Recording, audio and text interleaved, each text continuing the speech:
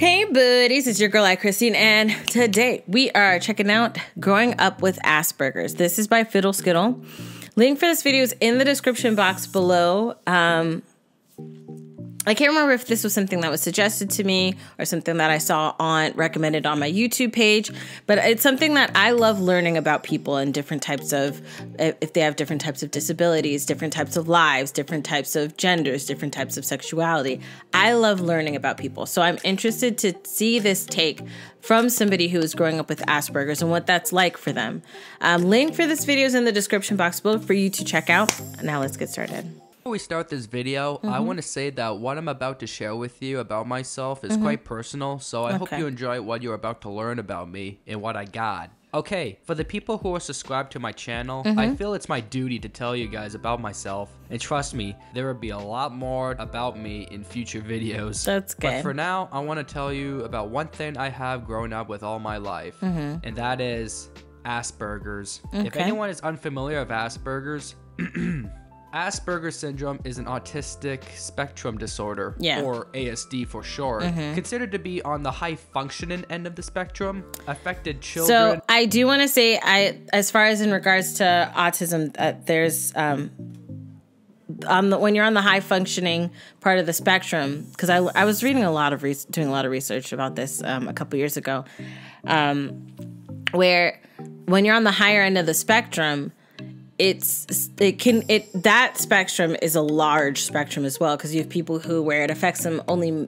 mildly and then you have people where even though it's on the higher functioning side they can a lot of the times they can take care of themselves. They don't need somebody to assist them or help them um, but it does affect like relationships job placement and things like that because of understanding and reactions and um, um, what well i guess reactions like how what they take in and what they put out in regards to that and adults having difficulty with social interactions Mm-hmm. and exhibit a restricted range of interests Mm-hmm. and or a repetitive behavior. So that's the basic short of it. As an adult, my Asperger's are pretty I love that cute thing with ice now, cream. but I still have some traits of the syndrome that I will tell Okay, you so he's on bit. the- but for now, I want to tell you how my Asperger's got all started. Okay. Well, it happened around the age as an infant to about a year old when Mm. a doctor diagnosed me with PDD. Since I don't remember this at all, I had to What's ask my mom about PDD? it. Yeah. And when I asked her, what in the heck is PDD? Right, what's to her, PDD? it stands for Pervasive Developmental Disorder. And from further Okay. research into it, I learned that it becomes the diagnosis applied to children or adults who are on the Mm-hmm. autistic spectrum but do not fully meet the criteria for another ASD, such as So- Mm-hmm. autistic disorder or Asperger syndrome. Pretty much it's the diagnosis they use for someone who has some but not all characteristics of autism and who have Okay. relatively mild symptoms. For i like that mild taco sauce packet that he keeps throwing in there um so and he said he was he was diagnosed between um um a few months and a year old. I didn't know that it could be that early dis, dis or that or detected that early or discovered that early. How what I do want to know what are the tasks and this is something obviously I'll look up on my own unless you guys know. What are the testing points for something even that mild because I know like if it's on the extremer end right where your child doesn't start talking and things like that and that's normally maybe towards the um lower end of the year, right? But between being a few months old and a year to be diagnosed with PDD, uh, that ha- what is the test for that? You know, when you're that young.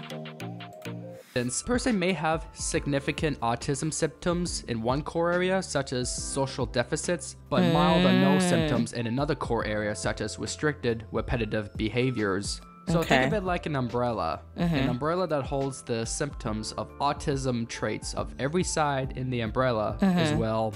Autism? I don't know.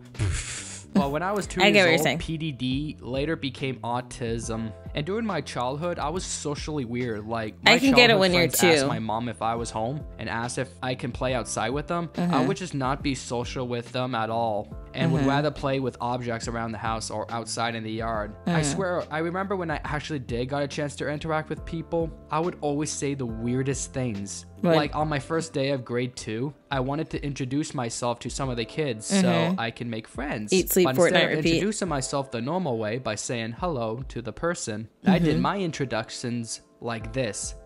Hi there, I'm Ryan.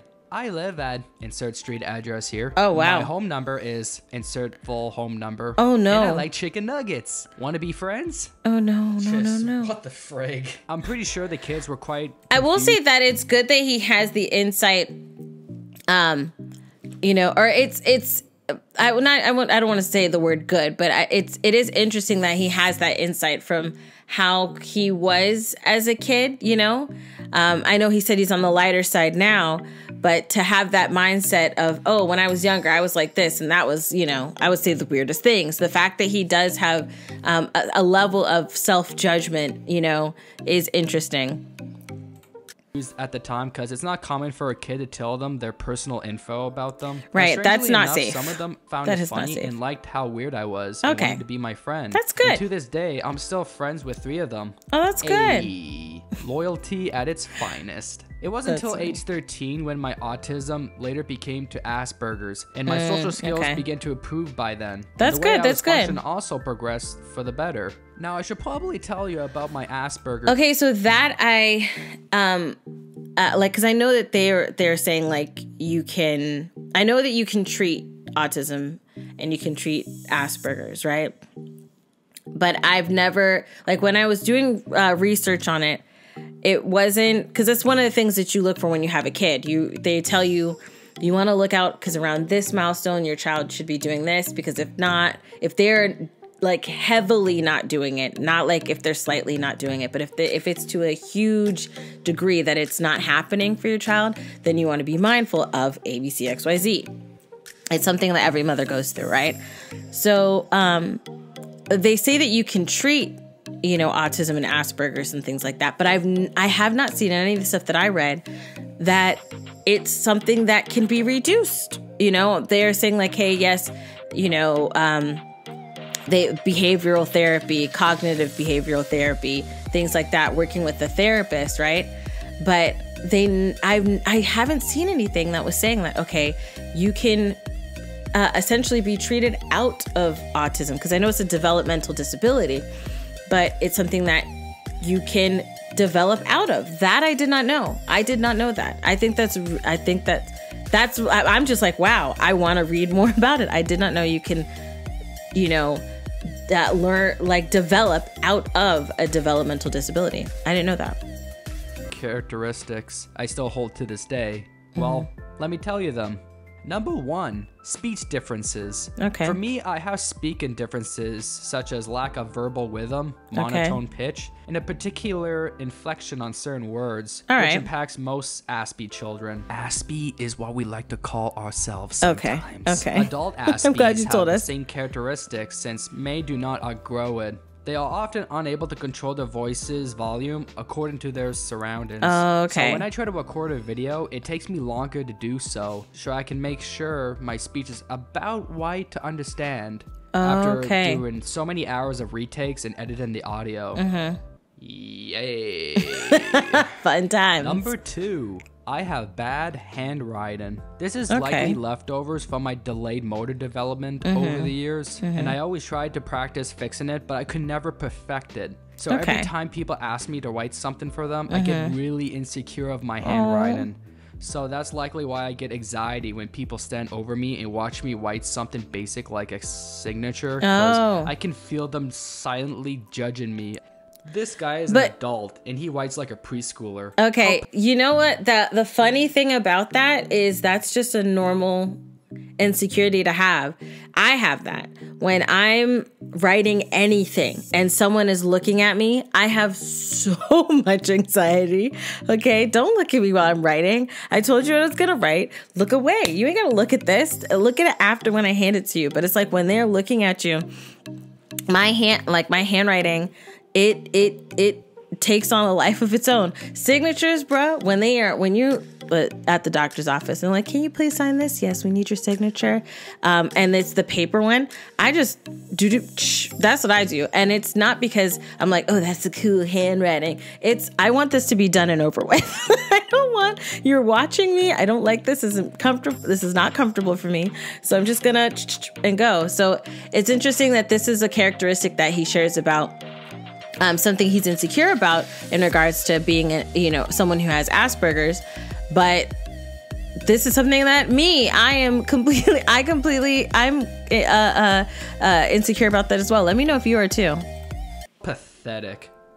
Yeah, you're not. You're yeah, not that pathetic. always bugs me. Number three, my intellectual or artistic interest did mm. you know many of the diagnosed Aspies will have at least one particular field of intellectual or artistic interest? Oh, yes, that they Take can be obsessive example. about. Yes. I have a passion for making content since I was seven. From drawing really? stick figure comics to around age 13 making videos and mm-hmm. wanted to be a director when I grow up. That's cool. College, being a writer, director, and photographer to now mm. making videos on YouTube. That's and also, cool. Aspies show a great skill in their area of interest at an early age and That's proceed good. to effectively excel at it later in life. Okay. Mozart, for example, was a historical figure with Asperger's like characteristics. Okay. Mozart was extremely skilled at composing music at a young age and mm. continued doing so late into life. Mm-hmm. Aspies may thrive in fields such as photography, graphic design, drawing, accountant, etc. The list goes on. That's folks. really cool.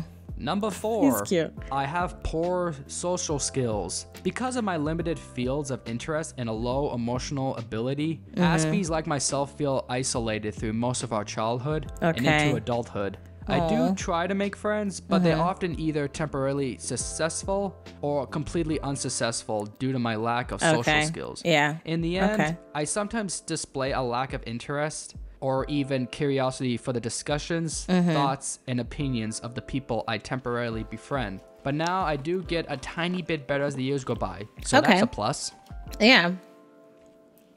So yeah, that's me explaining my disorder and hope you guys got a chance to get to know me a little more and hope you guys learned a lot from this video. If you- I did. I I think that this is really cool. I think that this is really cool that he took the time to hey, let me teach people about my disorder.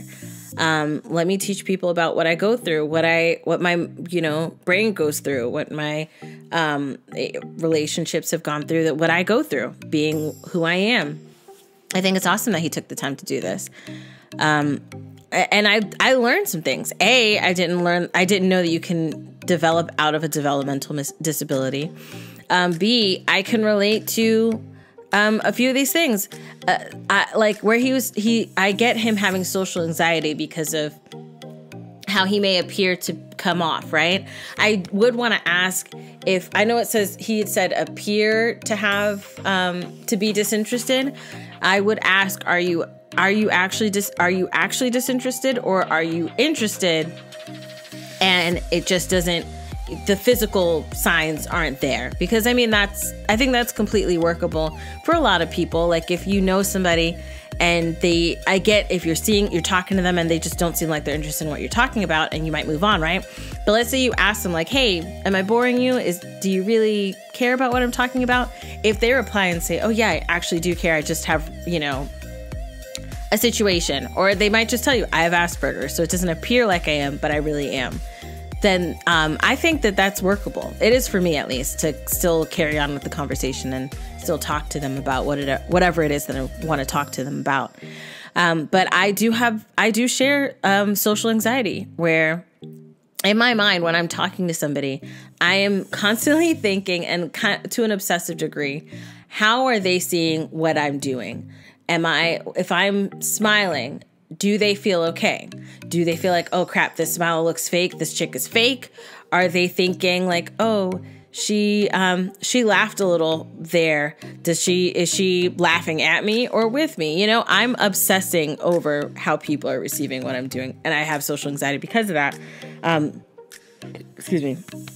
And mine stems from being misunderstood in a bunch of in a, a bunch of cases that became you know an end in friendships And so, because of that, I am very obsessive mentally, internally, about how I might be coming off to somebody. Sometimes I don't care, but sometimes, or a lot of the times, I'm worried about it. But um, yeah, let me know your thoughts down below in the comment section. Uh, were there any similarities that you share to um, our dear friend? Uh, what's Fiddle Skittle? to that you shared to Fiddle Skittle. Did you learn something new? Let me know your thoughts down below. If you like that video, check out the link in the description box below to support Fiddle Skittle. If you like this video, I love saying Fiddle Skittle, Fiddle Skittle, Fiddle Skittle. If you like this video, hug the life out of that like button. I love you guys as always. And until next time, buddies.